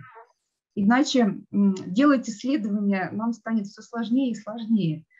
Поэтому вот если с этой точки зрения, а вот с точки зрения научной, я совершенно с вами согласна, что действительно, может быть, мы ищем черную кошку в темной комнате, а может быть, нам стоит как-то вот действительно подумать над наиболее яркими эмоциями, но, с другой стороны, нюансы иногда тоже важны. Но то, что этот инструмент не может иметь априорного характера, это совершенно, совершенно точно и совершенно ясно. Мы можем его использовать ну, исключительно как некую подсказку для дальнейшего какого-то действия. Потому что и машинное обучение дает нам лишь приблизительную картину, там довольно много искажений происходит при обработке данных. И вот сами информанты, действительно сегодня так, завтра так, и потом какая реально была эмоция. Хотя, с другой стороны, вот может быть нас реальная эмоция не столько и интересует, по крайней мере, не находится 100% в фокусе. Мы все-таки отталкиваемся от рецептивного подхода. Как воспринимается этот текст?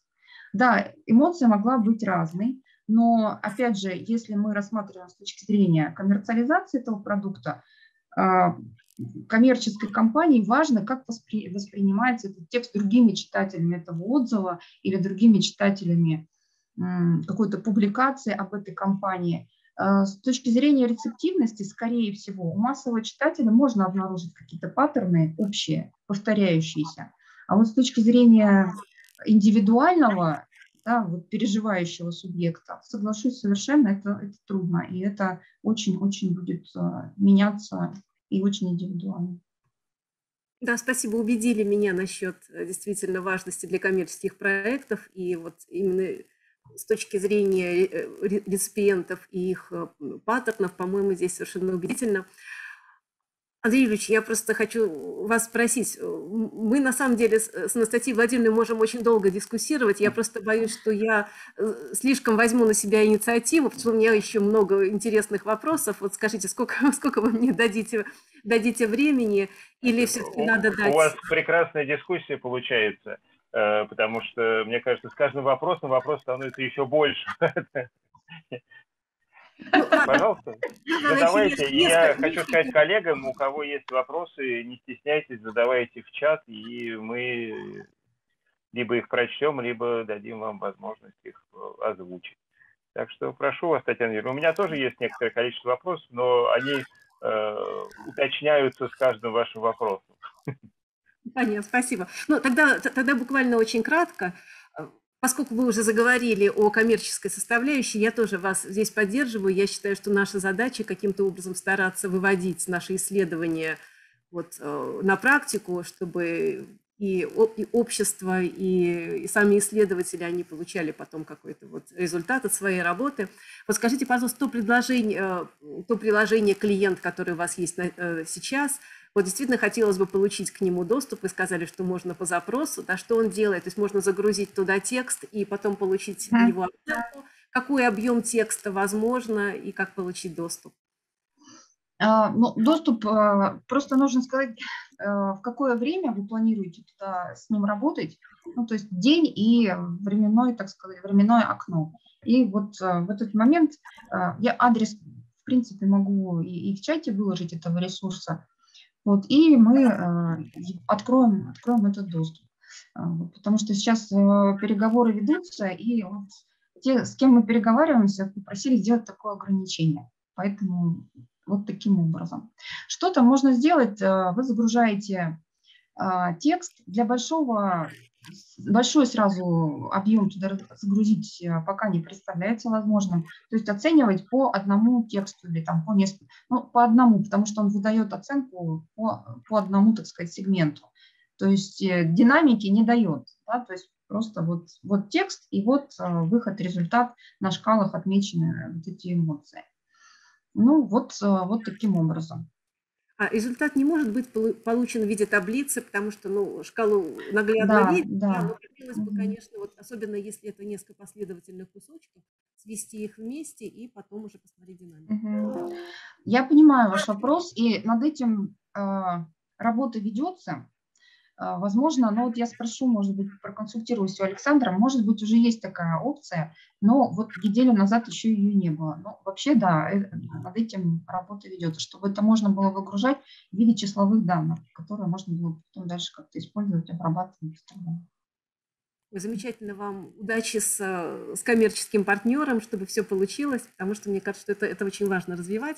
И тогда вот с вашего разрешения буквально вот несколько реплик по поводу, по второй части про билингвизм по-русско-тувимских, э, получается, участников эксперимента.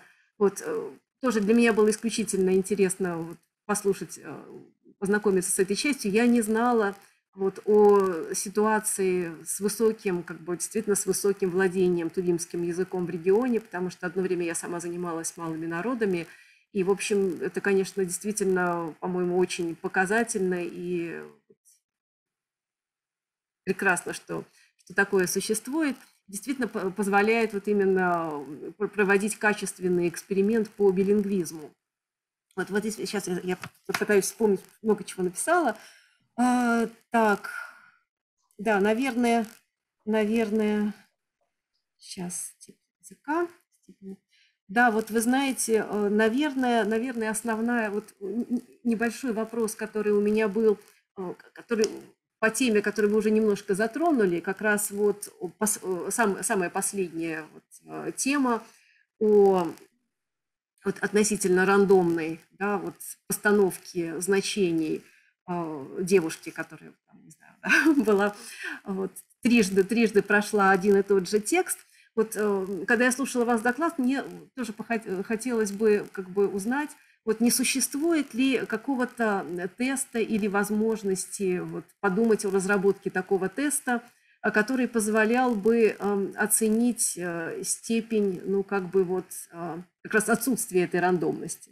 Потому что я знаю, что вот в психологических тестах действительно как бы встроены, вмонтированы некоторые ключевые вопросы, да, вопросы такие диагностические, а которые позволяют оценить степень искренности или вот лживости э, реципиента, да, то есть тот, который проходит mm-hmm. этот тест. Если мы видим, что на какие-то вопросы он дает вот противоречивые ответы, да, это позволяет говорить, что ну, он просто вот, э, ну, ставил оценки, мягко говоря, от фонаря. Да, вот. У нас mm-hmm. действительно, когда просто ряд э, наших информантов которые записывали один речевой день, они проходили психологическое тестирование, и действительно кто-то вот просто заполнял эти анкеты где-то в метро прямо на коленке, да, и просто, ну, нужно, нужно поставить, взяли, поставили, и все, да, и уже как бы вот, а, вот мне кажется, что если такой возможности нет, то, наверное, было бы очень наверное, полезно подумать, э, потому что вот это, вот это реально перспективно, и это большой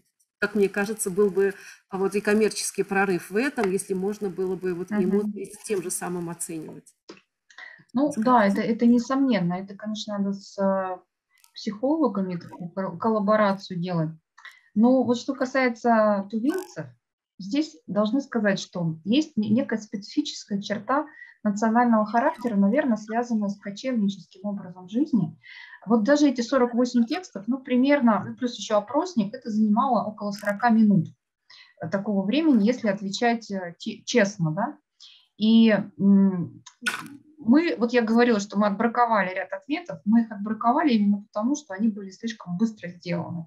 То есть мы сначала сами прошли, что вот да, если это нормально, э, с такими небольшими паузами на подумать, отвечать, ну, где-то 40-50 минут. Если информант отвечает за 20, то уже сразу закладывается подозрение, что здесь что-то не так. Поэтому вот эти ответы, они были исключены потом. Но что касается специфики характера национального, вот а, сами тувинцы признаются, когда даже я с ними работаю, а, ну вот у них а, этот билингвизм еще какую накладывает черту. Крайняя степень уважения – это обращение по родовому имени для нас э, вот наше родовое имя, восприятие тувинцев, это э, отчество. И вот они мне говорят, Владимировна, мы же кочевники, мы же вот не можем долго на одном месте усидеть. Вот 50 минут – это очень сложно, это очень сложно. Надо какие-то перерывы делать. И вот мы, значит, э, ну, практически, не знаю, с успокаивающей музыкой, с какими-то бонусами и морковкой перед носом, чтобы э, хотя бы вот удержать внимание в течение этих 50 минут. И вот эту реплику о том, что вот, э, Владимировна, мы же не можем так долго заниматься одним и тем же, я слышала не раз. Поэтому тут есть вот такая специфическая черта, которая, мне кажется, связана каким-то образом с национальным характером. И а, да, тестирование, наверное, нужно проводить, и надо думать над этим. Но ну, вот тот выход, который мы нашли, это пока просто вот выброс по времени. Если время слишком короткое, значит, априори ответ был да, некачественным. Ну и потом, э, опять же, э, популяция это замечательные, очень, очень радушные люди, но на всякого рода психологические тесты э, идут очень осторожно. Вот это тоже мы на себе испытали, поэтому здесь еще важен фактор, кто предлагает этот тест. Это должен быть э, тувинец, это должен быть э, ну, человек, скажем, из знатного рода, из э, такой э, статусной в, вот, во внутренней иерархии. Поэтому э, есть там вот некоторые, но именно специфичные для вот этой когорты, для вот это, этого сообщества. Но трудности, согласно с вами, нужно преодолевать и идти вперед. И здесь, конечно, предварительно это тестирование, несомненно, очень-очень-очень поможет.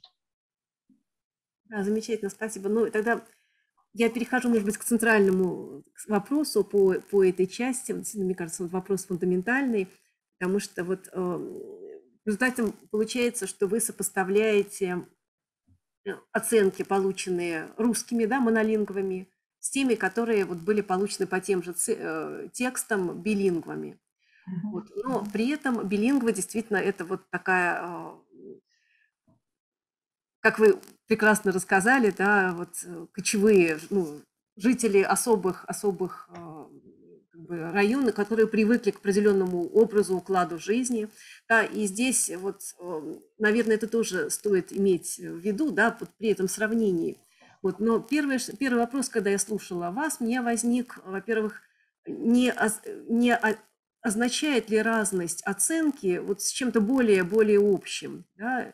Даже вот сначала вот именно не особенность э, образа жизни, да, а вот именно степень владения языка.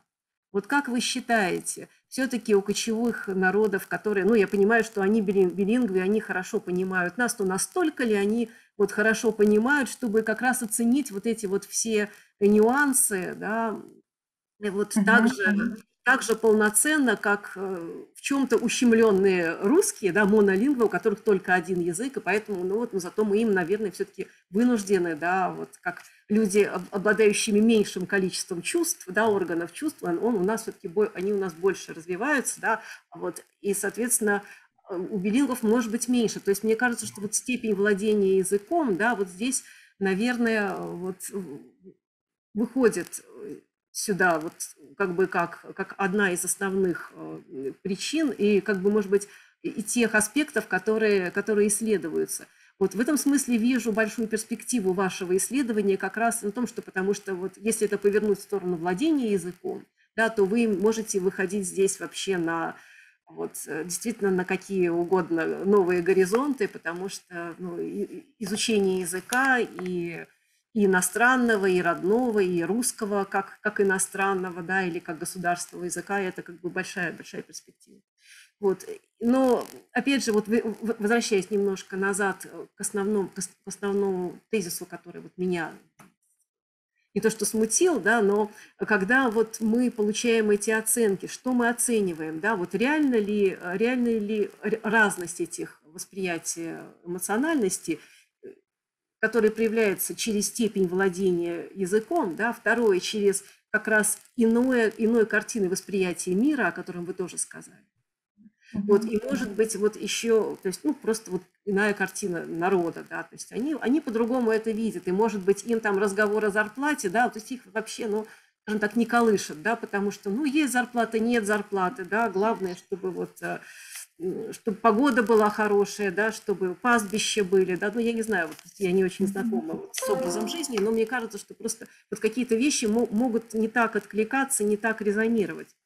Вот, ну и, конечно, возможно, вот какие-то когнитивные вещи, которые действительно связаны вот, э, ну, это скорее вот относится к тому, что к темпу восприятия, да, то есть угу. действительно и, и физиологически, и когнитивно это может быть вот, ну, немножко по-другому, да, и тогда вот не уходит ли, э, то есть как вот с этим разобраться, мне кажется, вот это самая большая проблема, угу. и, наверное, нерешаемое сейчас. Вот, ну, угу. Ну, э, Татьяна Юрьевна, я здесь соглашусь с каждым вашим словом. Действительно, здесь на оценку эмоций может влиять и отличие картины мира, и образ жизни, и степень владения языком, поэтому именно мы ее и измеряли, да, какой язык доминирующий, там, русский, тувинский или это сбалансированный билингвизм. Но здесь, э, вот опять же, мы эту проблему решить не можем, поэтому мы от нее, а, ну, скажем так, абстрагируемся в том смысле, что нас опять же интересовал практический вопрос. А, ну, вот, возможно, я покажусь таким, а, как это сказать-то, круглым практиком или замшелым практиком. Но... Очень, мне кажется, что это, этого очень многим ученым не хватает, поэтому ну, вот запрос был от правительства Красноярского края и от правительства Тывы о том, что э, именно для э, ну, ситуации, скажем, социальной, социальной, как бы это сказать, растерянности, да, когда эмоциональные тексты социальных сетей оказывают ну, воздействие да, на наше мироощущение, на наше миронастроение и так далее, вот одинаково ли будут восприниматься тексты на русском языке монолингвами и билингвами. Вопрос «почему?» – это очень глубокий вопрос. И, несомненно, тут надо вот прям междисциплинарную команду и продумывать глубокое исследование. Но мы пока, как вот Скарлетт э, в «Унесенных ветрах» сказали, что мы подумаем об этом завтра, нам пока интересен сам факт, есть ли эти отличия или нет этих отличий. Э, конечно, они, несомненно, связаны с уровнем владения языком, потому что, несмотря на прекрасные прекрасное говорение, практически без ошибок. Но вот эта вот внутренняя форма, да, коннотативный ореол слова, очевидно, они другие, очевидно, они другая конфигурация, ниже монолингву. И, как вы правильно сказали, ситуации релевантные из окружающего мира, которые могут спровоцировать эмоции, могут быть триггерами эмоций, они тоже, очевидно, отличаются. Но пока мы ограничились ответом на вопрос, есть ли различия или нет различий.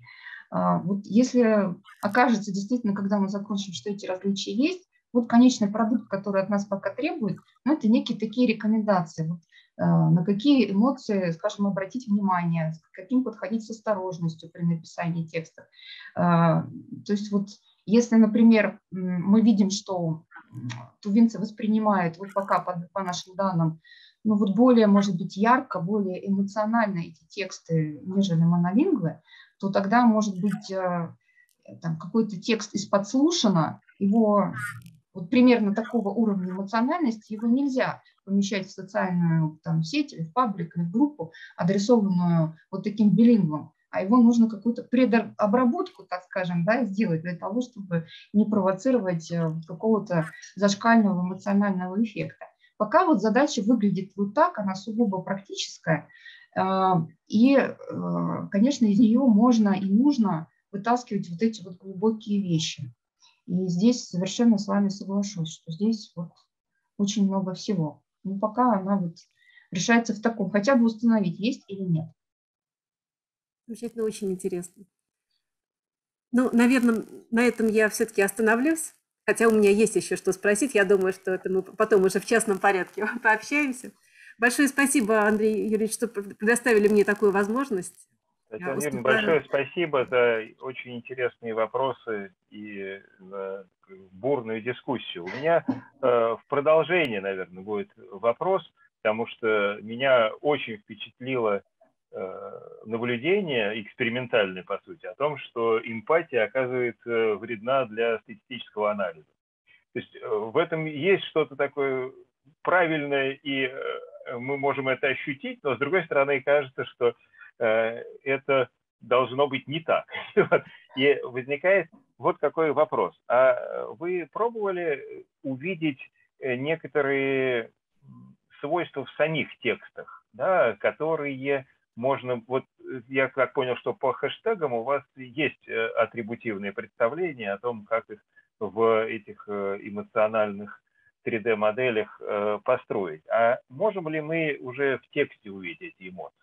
Я вот э, полностью поддерживаю идею, что надо ориентироваться на рецепцию. У меня был эм, достаточно давно, но такой интересный опыт. Мы пытались сделать интент-анализ на основе жалоб рабочих дореволюционных еще. Вот. Ну и если говорить об эмоциях, то там просто все поссорились, потому что все считали, что совершенно разные в этих документах, и, э, в общем, это дело дальше особо сильно не пошло, но это интересно, потому что здесь восприятие действительно э, играет очень важную роль. Можно ли как-то сами тексты да, оценить? И здесь сразу возникают какие-то сложные ситуации, например, когда это, не знаю, ирония или сарказм, который выдается там за горе или, наоборот, радость и так далее. Да, есть ли какие-то такого рода наблюдения?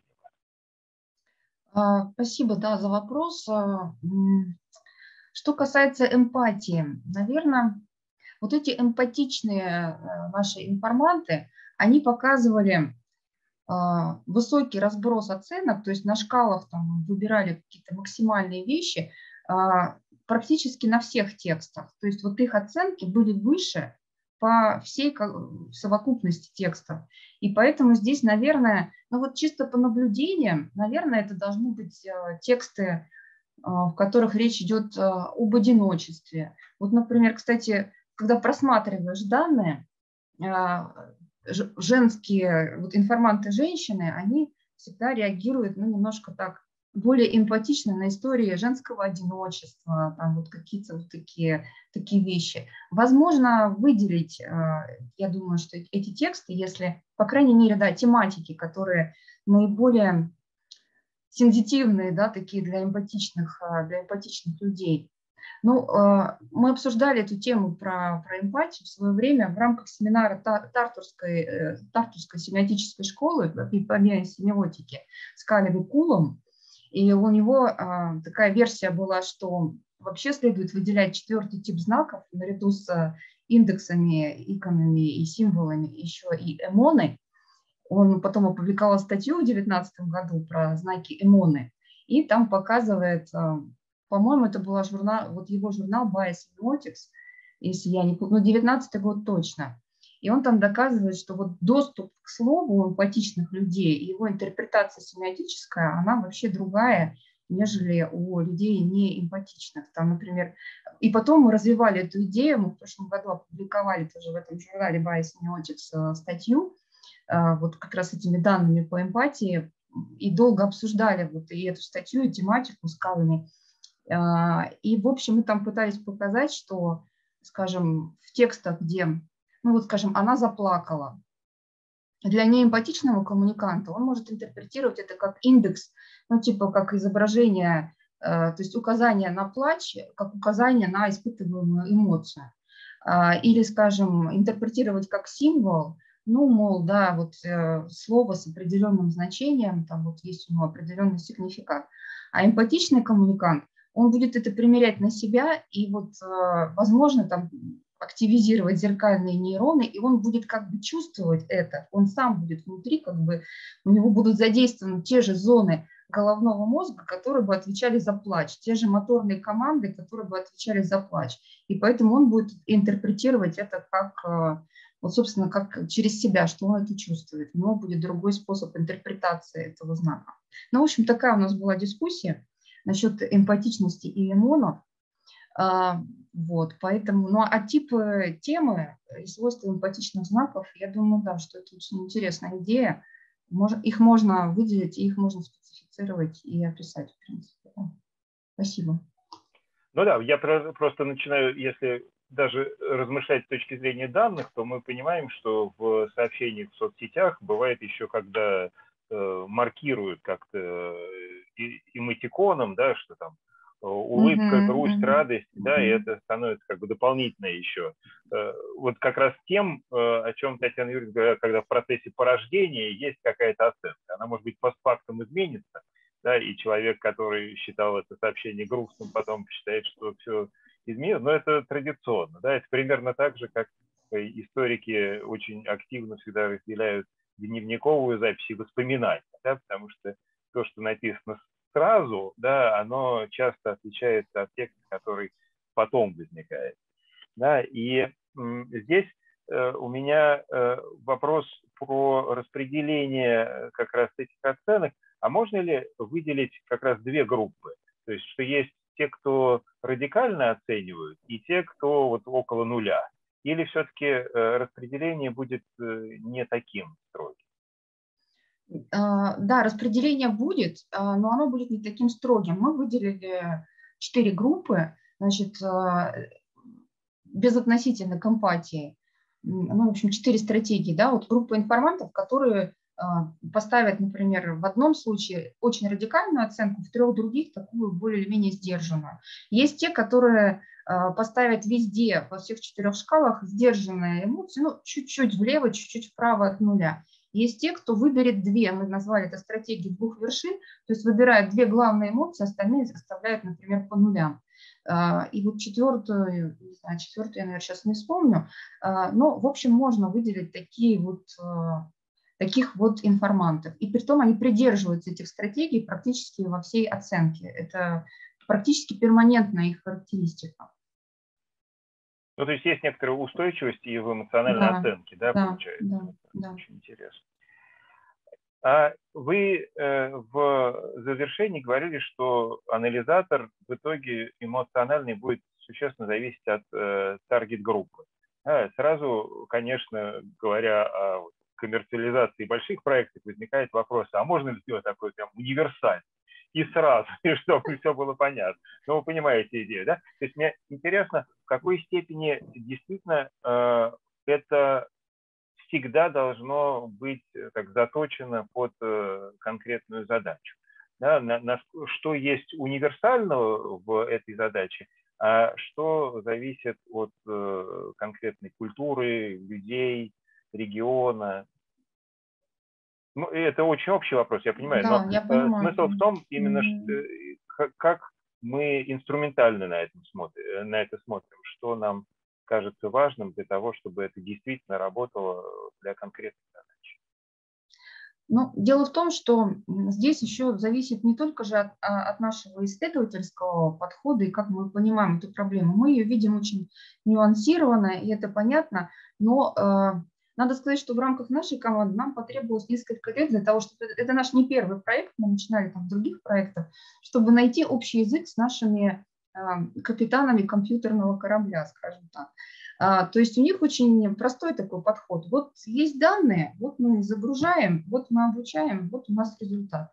Когда мы начинаем копаться в нюансах, ну вот мне очень понравилось в свое время, Инна Александровна сказала на семинаре фразу, что когда лингвисты уходят, точность повышается. Вот ровно то, эту фразу мы слышим с определенной регулярностью, что как только мы со своими нюансами отстаем от них, то э, специалисты по машинному обучению легко решают задачу, им кажется, что все классно решено, тут э, классификация есть, проценты есть, а мы начинаем нудеть. Ну как же есть, а вот посмотрите, тут вот так, а тут вот так, а вот это может повлиять, и вот это повлиять. Короче говоря, нам потребовались годы для того, чтобы притереться друг к другу и начать вот как-то вместе в, одном, так сказать, ключе думать и работать. Поэтому э, алгоритмы машинного обучения, они очень чувствительны к данным. Даже если вот мы обучили этот анализатор на текстах э, социальных сетей, если мы туда забросим, предположим, не тексты из пабликов ВКонтакте, а забросим, например, Википедию, то точность классификации снизится. Не кардинально, но снизится. Если мы забросим туда тексты из... Вот у нас был такой опыт, мы анализировали, тоже первый опыт был эмоционального анализа, а, письмовник, значит, роман «Письмовник», там тоже короткие истории, да, ну, имитация дневниковых а, записей.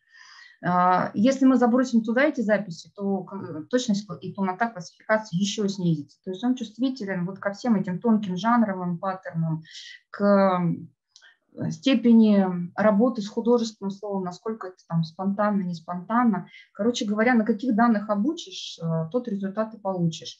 Поэтому говорить об универсальности, я, наверное, сейчас даже затрудняюсь, потому что это очень-очень чувствительно все не только к разметке, кто разметит, потому что машина обучается на размеченных данных, кто разметил, на том мы обучились.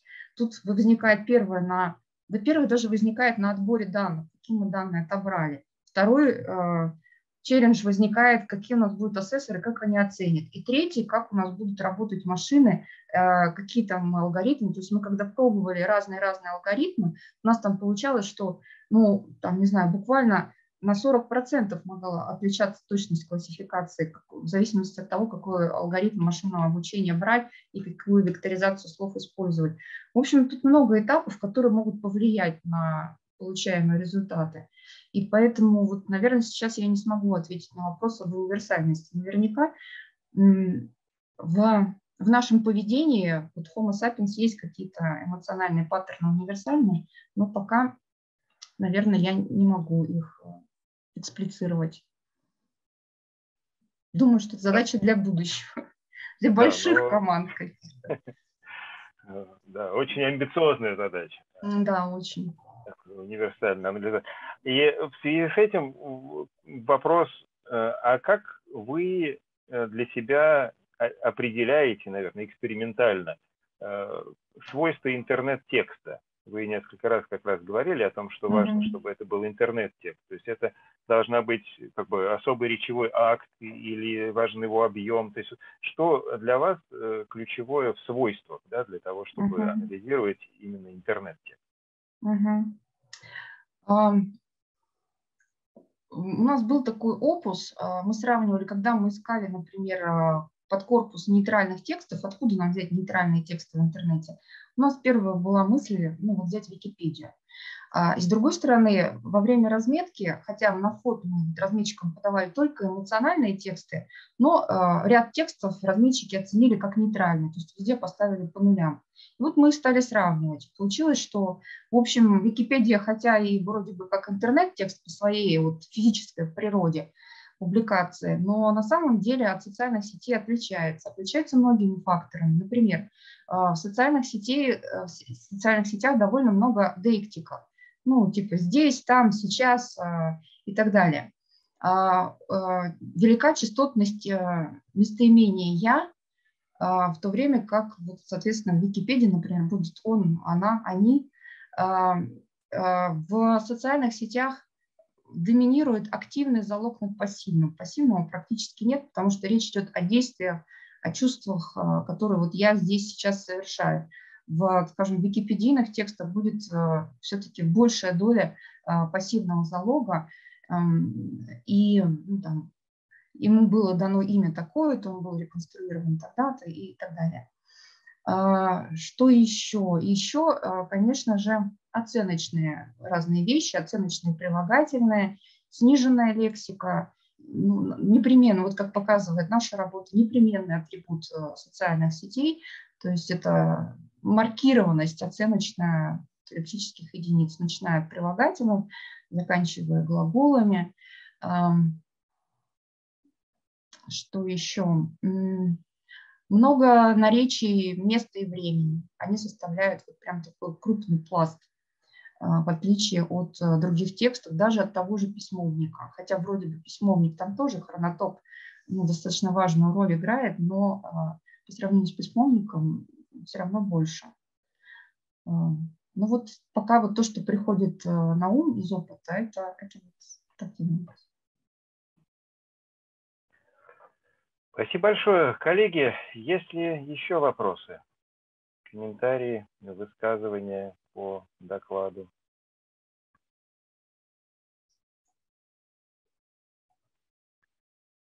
Анастасия Владимировна, большое вам спасибо за прекрасный доклад и за интереснейшее обсуждение. Мне кажется, что все мы теперь с гораздо большим вниманием будем относиться к своим эмоциям и будем всегда думать, какие эмоции вызывают наши интернет-тексты. Что это не плоская, а трехмерная реальность.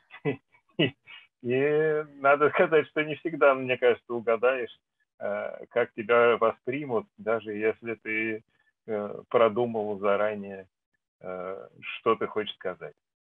Спасибо большое спасибо. и удачи спасибо. вашим интереснейшим исследованиям. Татьяна Юрьевна, большое спасибо за вопросы и за реплики и за участие. Всем, коллеги, большое спасибо и до новых встреч на цифровой среде. Спасибо большое, коллеги. Спасибо. Всего доброго.